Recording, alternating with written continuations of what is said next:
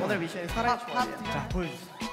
있잖아 내가 할 말이 있어. 있잖아 내가 너를 좋아해. 이만큼 여만큼 여만큼 여만큼 내가 너를 좋아해.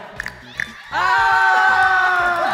이게 이게 바꿔서 이만큼 여만큼 여만큼 여만큼 내가 너를 좋아해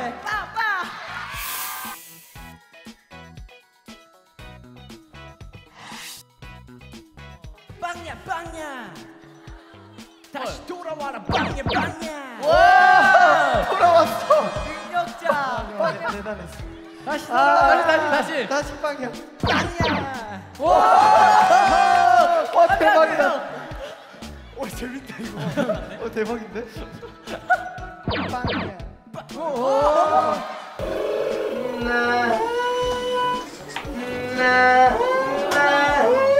제가 왜 이러는지 아세요? 떨려요. 추워서 떨린 게 아니에요. 무대가 떨려요. 오늘 날씨 따뜻한데 전 세계 팬분들이 보신다고 들었는데 네. 열심히 해서 우리 나름 외국 팬분들도 많이 네 제 목표는 일단 알려야죠. 네. 아무도 많은 분들에게 알려야 돼요. 아무도 몰라요. 전 세계에 계시는 많은 분들에게 저희 아스트를 알리도록 하겠습니다. 저를 사랑해주신 아리안의 야에게 인형과 인형의 인형과 빈형이요. 인형과 하트와 윙크 보내주실 겁니다 네. 카메라 보고 한번 해주세요.